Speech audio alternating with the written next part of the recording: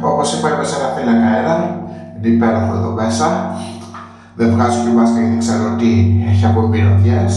Και πάω να πάμε να φύγουμε και να βιντεοσκοπήσω λίγο να σας δείξω πώς είναι εδώ πέρα. Δύο πιλότες στο φωτιάλο του βιβλίου όταν βρίσκονται στους πίνακες. Συνήθως παρακάτω είναι.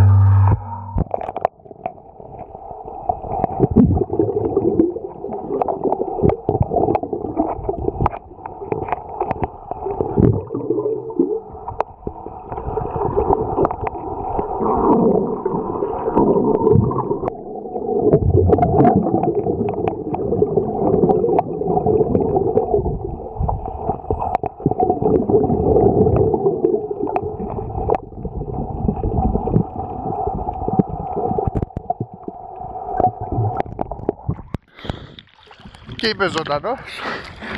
Αυτός είναι ο Μουτιάς. Εννοείται δεν το συστήνω σε κανένα να το κάνει αυτό, έτσι.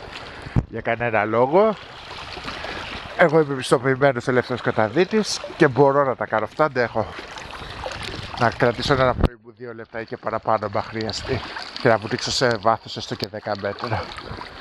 Κανείς απ' έξω δεν μπορεί να καταλάβει ότι έχει θύλακα αέρα. Πρέπει να πας μέσα μέσα σε αυτά, σε αυτές τις πηλίτσες εδώ πέρα. Και είναι επικίνδυνο γιατί μπορεί να κρυβεί κάποια σπένα ή κάποιο, κάποια δράκια, κάποιο άλλο είδος τέλος πάντων και να τραυματιστείτε αν δεν ξέρετε.